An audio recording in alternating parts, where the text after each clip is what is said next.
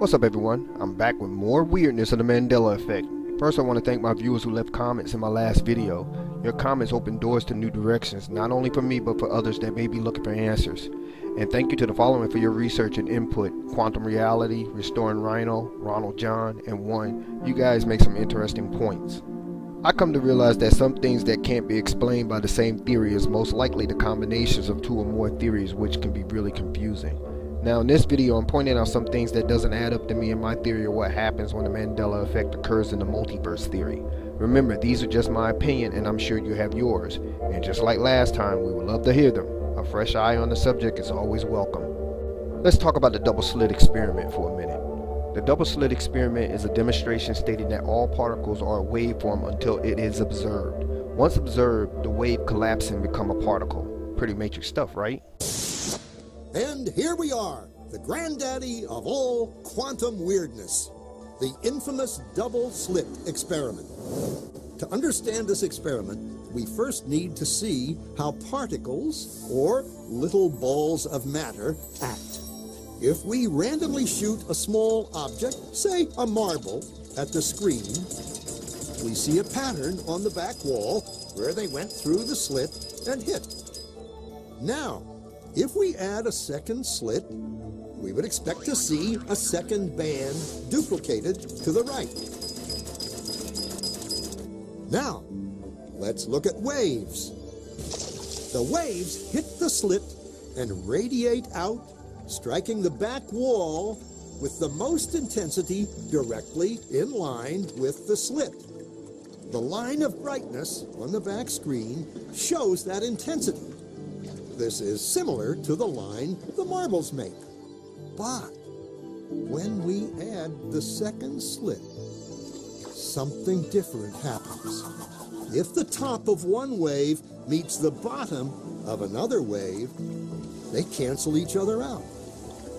So now there is an interference pattern on the back wall. Places where the two tops meet are the highest intensity, the bright lines, and where they cancel, there is nothing. So, when we throw things, that is, matter, through two slits, we get this two bands of hits. And with waves, we get an interference pattern of many bands. Good so far. Now, let's go quantum.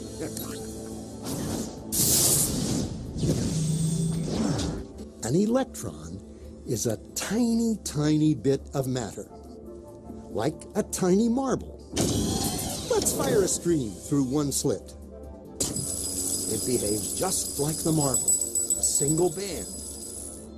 So, if we shoot these tiny bits through two slits, we should get, like the marbles, two bands.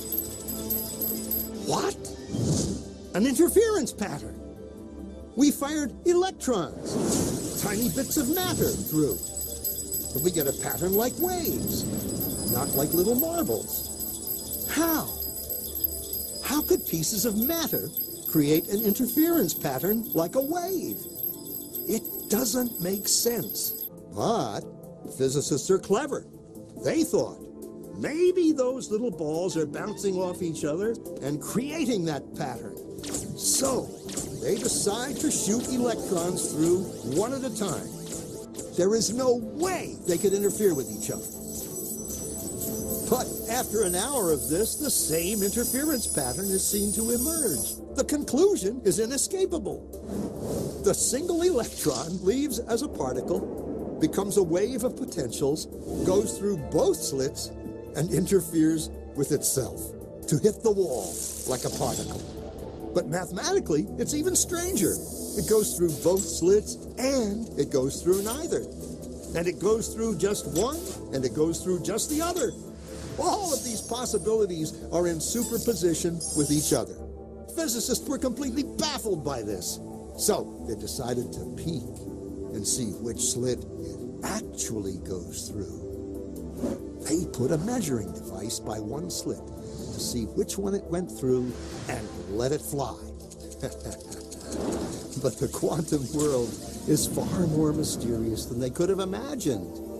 When they observed, the electron went back to behaving like a little marble. It produced a pattern of two bands, not an interference pattern of many.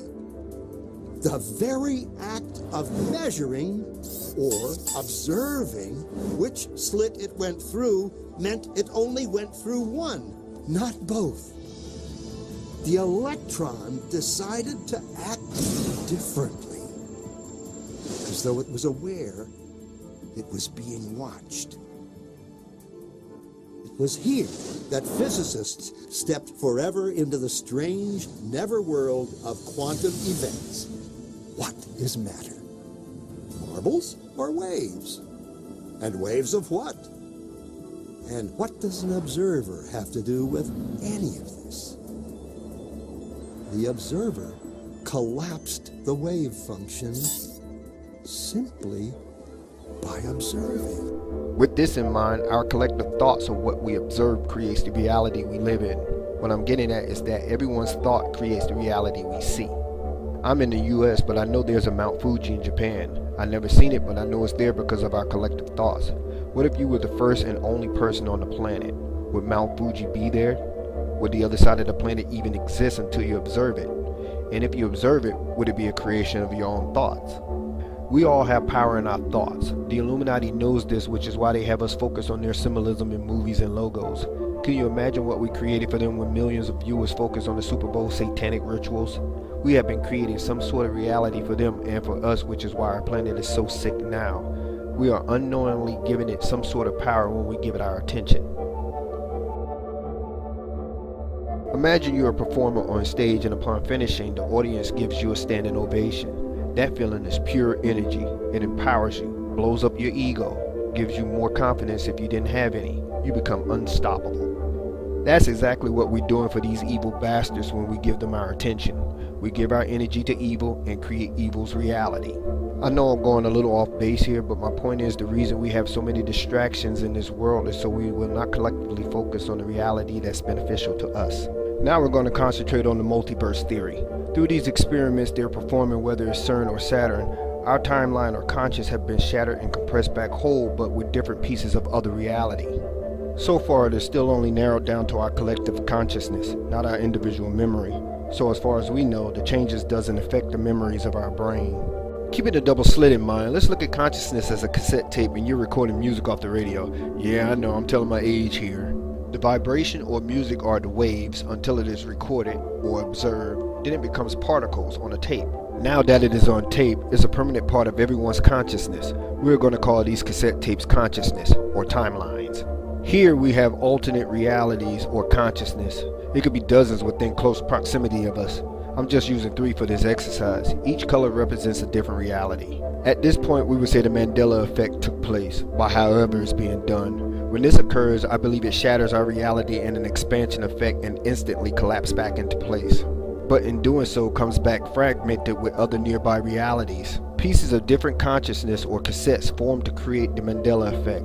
Whatever pieces of consciousness we had goes to another reality and we adopt a consciousness from others. While our reality now have Febreze and we're calling it Febreze, this reality now has Febreze calling it Febreze. And this reality may no longer have the Black Tom Island bombing when it did before, but we now have that part of someone else's consciousness in our reality. Okay, now I'm going to add time travel in the mix here.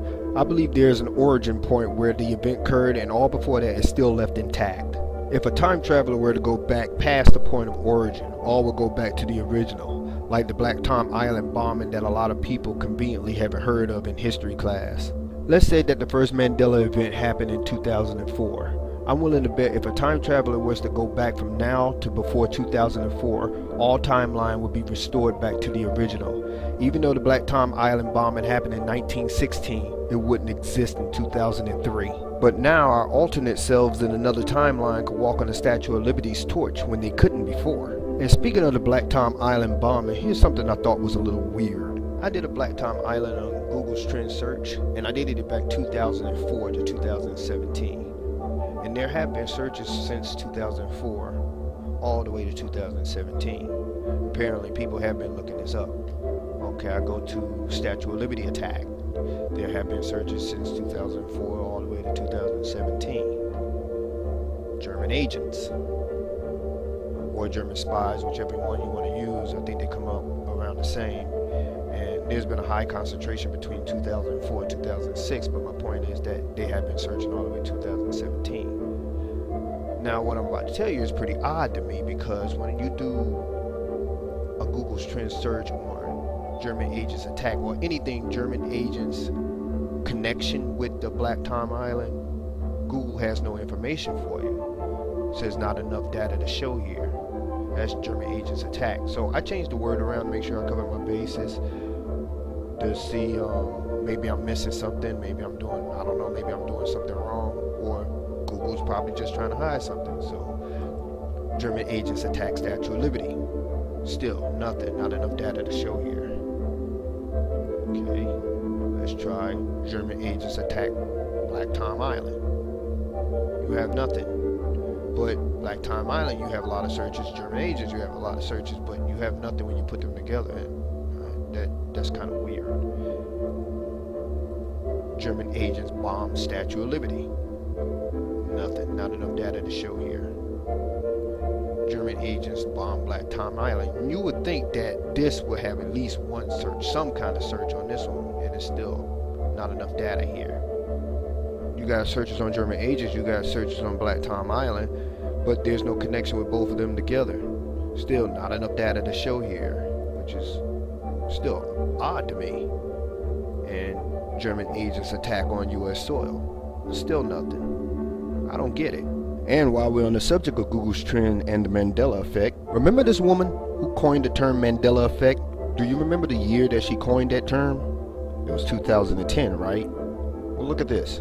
Now, if we go to Mandela effect on Google's trend, we check someone searched it in January and February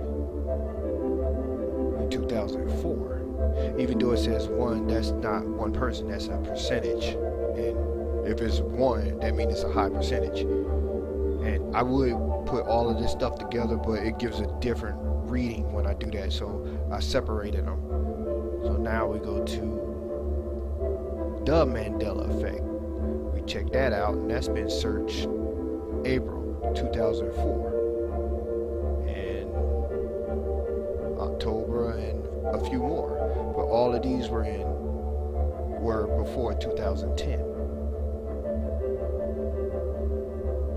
So now we go to Mandela effect theory. And it got a real high spike in 2006, March 2006. So if the, if, if the term was coined in 2010, why all these searches were way before, years before? So there's one in 2010. I thought I'd just point that out. But you can't really trust Google Trends, I come to find out. Who remembers hypnotic liquor? Looks a little different, right? Where's the why? When I first did a Google Trends search on this, hypnotic spelled this way was flatline. No search at all. I'm telling you now, when you're researching and use Google Trends, you better screenshot immediately. Once I started talking about this on social media, Google Trends changed, and now I have this. Man, I wish I screenshot that first search. Look what happens when I use a C instead of a Q. Really high. This may not be the first time this shift happened. This could be the reason man has not found the missing link in human evolution. Even though some say that aliens may have intervened, which I'm not knocking, but it can also be a Mandela effect back then. The human body changed virtually overnight back then just like it did now. In 1832, a naturalist named Charles Darwin came to these islands to observe and record several species of animals not seen before. The result of his studies formed the basis for his controversial book, The Origin of Species. In it, Darwin proposed his theory of evolution, which held that all life evolved over time through a process of natural selection. But even Darwin's theories could not explain the developmental gap between apes and man. There was, it was believed, a transitional species that had to exist, one which became referred to as the missing link. Homo sapiens have been around for 300,000 years, and only in a few thousand years our brain size essentially tripled. Now, that does not jive with ordinary evolution. You need time, a very long time. However, today, biologists cannot quite put a finger on how our brain volume tripled in a very short time period. That is still a mystery. Could it be, as many ancient astronaut theorists believe, that ancient aliens had a hand in jump-starting human evolution on our planet?